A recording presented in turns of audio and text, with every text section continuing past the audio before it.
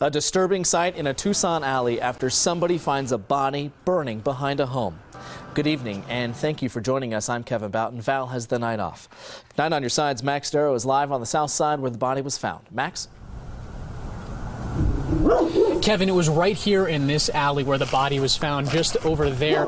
Now, police say a man was driving home this morning. He saw something burning, got closer to see it was a body, so he quickly called 911. That was just around 8 a.m. Uh, on East Coconino Vista, just off of Country Club Road. A Tucson police officer arrived at the scene to find a body clearly on fire. TPD says that officer put out the flames with his fire extinguisher, and once the fire was out, they confirmed it was in fact a body and the victim was dead.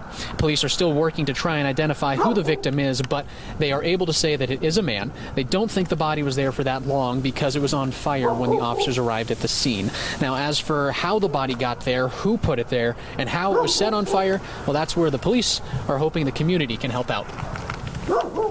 We don't see this often. I mean, it's happened, of course, but we don't see this often. That's why we're just wondering if maybe maybe you didn't see or hear something, but maybe you know something. Uh, we're just encouraging people to call in and help us out.